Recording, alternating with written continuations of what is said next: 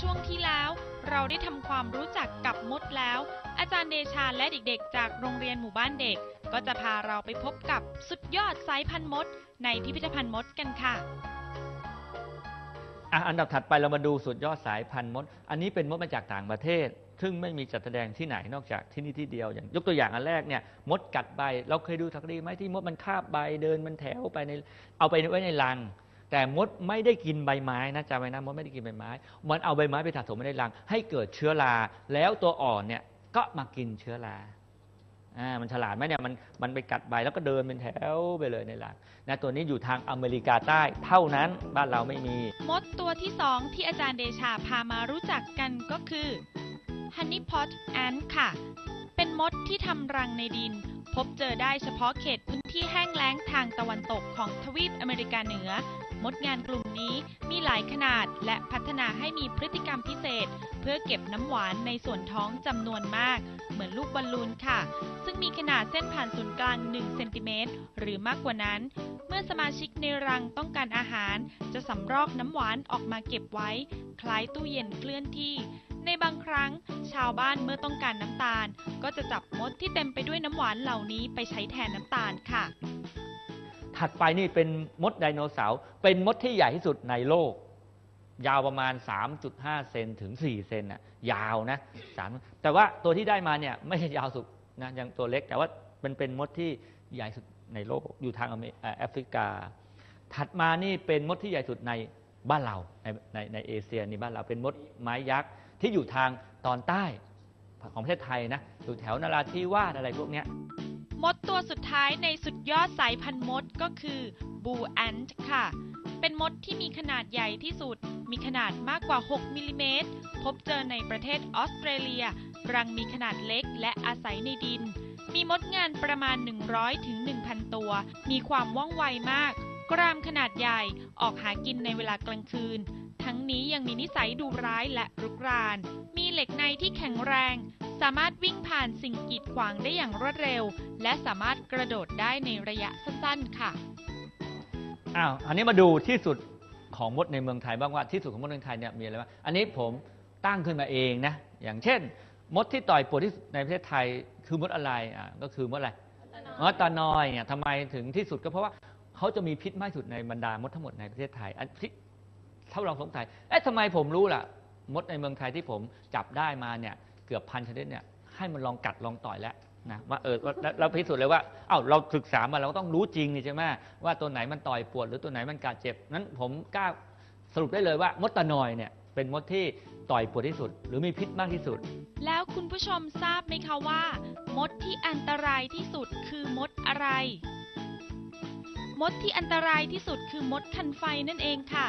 มดคันไฟเป็นมดขนาดเล็ก อาศัยอยู่ในดิน ปากทางเข้ารังมีหลายรู สังเกตว่าจะมีขุยดินกองอยู่บริเวณรัง มดคันไฟมีนิสัยดุร้ายก้าวร้าวสำหรับมดชนิดนี้อันตรายที่สุดเนื่องจากพิษของมัน จะทำให้ผู้ถูกต่อยเจ็บปวด คลายน้ำร้อนลวก หลังจากนั้นจะมีอาการบวมแดง ขยายวงกว้างขึ้น จะมีอาการมากน้อยขึ้นอยู่กับอาการแพ้ของแต่ละคนค่ะมดเนี่ยมีกลิ่นกลิ่นตัวแรงที่สุด ที่จริง ที่ที่บ้านพักเราก็มีนะมดตัวเนี้ยมดคือถ้าเราไปบี้มันนะสังเกตจะเหม็นมากเลยเขาเรียกมดเหม็น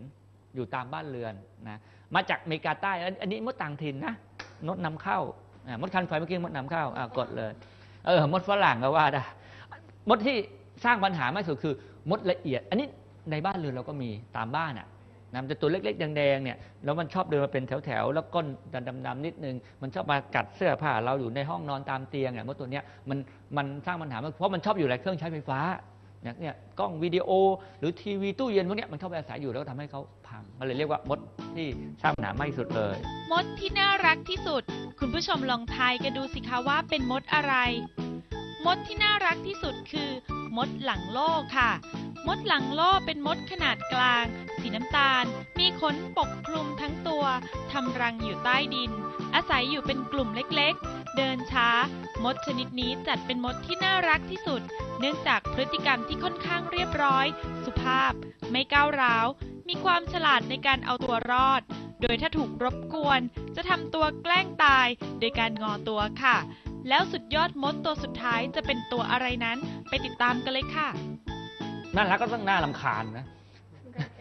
ไอ้ไอ้ตัวนี้กินน้ำตาลไงตัวนี้กินน้ำตาล กินน้ำตาลที่ว่ามากินน้ำตาลเราเยอะเนี่ยแล้วก็เดินเร็วๆมากเลยมันนั่นชอบมาขึ้นตัวเรา แต่มันไม่ไม่ได้กัดไม่ได้ต่อยเลยนะก็เลยมดลำคาญเรียกมดดำมดนะหรือตั้งแบบมดลำคาญนะนั่นก็จะที่จริงมันยังมีมดอีกเยอะแยะเลยนะเอ่อมดที่ทนแดดทนฝนก็มีแต่เรายังไม่ได้เอามาตั้งกันเอาเอาแค่หกลำดับนี้ก่อนนะนี่ก็เนี่ยคือที่สุด ของมดในเมืองไทยก็จะมีแค่นี้ คุณผู้ชมคะ หลาย ๆ สิ่งบนโลกต้องพึ่งพาอาศัยกัน มดก็เช่นเดียวกันค่ะ มดจึงมีความเกี่ยวข้องกับหลาย ๆ อย่างบนโลก มดกับมนุษย์เองก็มีความเกี่ยวข้องกันอยู่ตลอดเวลา จึงบอกได้ว่าที่ไหนมีมนุษย์ ที่นั่นมีมดตามไปด้วยเสมอ มนุษย์จึงนำมดบางชนิดมาเป็นอาหาร และหารายได้ เช่น มดแดง และมดนั้นยังสามารถพยากรณ์อากาศได้อีกด้วยค่ะไอการที่มดเขาเรู้เรื่องเกี่ยวกับดินฟ้าอากาศเนี่ยมันก็เรื่องเกี่ยวกับการปลอดภัยของเขาอะนะมดเนี่ยหลายชนิดเลยเขาสร้างรังอยู่ในดิน ถ้าเกิดเขาไม่มีออะไรอะระบบระบบประสาทหรือสัมผัสในการที่เร็วเกี่ยวกับ เรื่องราวของฝนตกหรือภัยต่างๆมาเนี่ยสมมติว่ากรณีของฝนตกเนี่ยถ้าเขาอยู่ในดินแล้วรังเขาไม่ปลอดภัย ฝนตกมาน้ำก็ท่วมรัง นั้นเขาก็ต้องออหาทางปกป้อง นั้นก็เลยทำให้มดเนี่ยเขามีระบบในการที่จะตรวจสอบตรงนี้ได้ดีโดยอะไรหนวดที่เมื่อกี้บอกแล้วไง ใช้หนวดในการรับรู้ความรู้สึก ว่าเนี่ยพออากาศเปลี่ยนแปลงอย่างเงี้ยอีกวันสองวันหรือบ่ายนี้ฝนจะตกนั้นเขาก็ต้องมีการอะไรวางแผนเอาไข่เนี่ยขนไว้ที่สูงก่อน เพราะว่าเหมือนกับเป็นความรักของเขานะในครอบครัวเเขาก็ปกป้องน้องๆของเขา ถ้าเกิดไม่งั้นเขาหนีตัวรอดตัวเดียว ที่เหลือตายหมดเงี้ยเขาก็อยู่ไม่ได้เหมือนกัน นั้นเขาก็ต้องช่วยปกป้องเอาเอาน้องเอาแม่เขาขึ้นไว้ที่สูงแล้วอันอันนี้ก็เลยเป็นเป็นที่มาว่าทำไมมดขนไข่ขึ้นที่สูงแล้วฝนจะตก ก็โดยมดเขามีระบบตรวจสอบโดยใช้หนวดนะเพื่อป้องกันตัวเองไม่ให้ตาย มันก็มาสอนพวกเราได้เหมือนกันนะก็คือในในแง่ของการการทำงาน ถ้า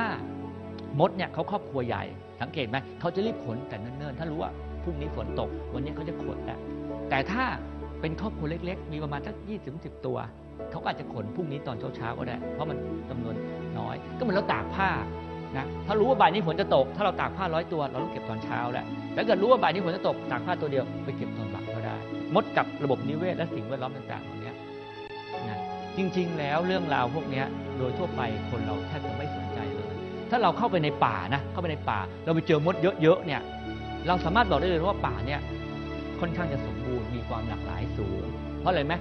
ถ้ามีมดเยอะอาหารของมดก็ต้องเยอะใช่ปะมดกินอะไรอะมดก็กินสัตว์กินเนื้อสัตว์นะมดกินมดกินปวกนะปวกกินอะไรปวกกินพืช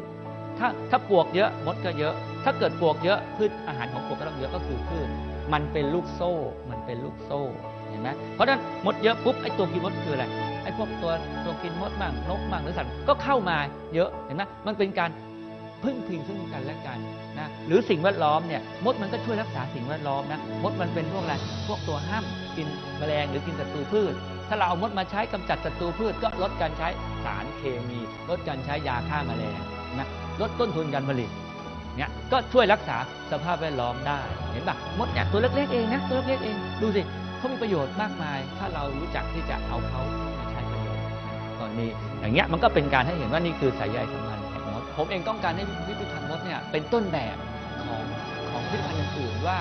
คือพิพิธภัณฑ์อื่นเนี่ยเวลาอันนี้เราคงไม่ไปก้าวไก่กันนะส่วนใหญ่ถ้าจัดก็จัดโดยโดยความคิดของตัวเอง ผมอยากให้ให้มองคนที่มาเนี่ยว่าคนที่มาเนี่ยเข้ามาเป็นแบบไหนระดับไหน เพราะบางบางแห่งเนี่ยเด็กๆบางทีดูไม่รู้เรื่อง หรือบางแห่งผู้ใหญ่ก็ไม่เข้าใจอย่างของเราเนี่ยเราแบ่งเป็นสามกลุ่ม กลุ่มเล็กกับแบบหนึ่งกลุ่มเพราะฉะนั้น ถึงได้บอกว่าทุกคนทุกเพศทุกวัย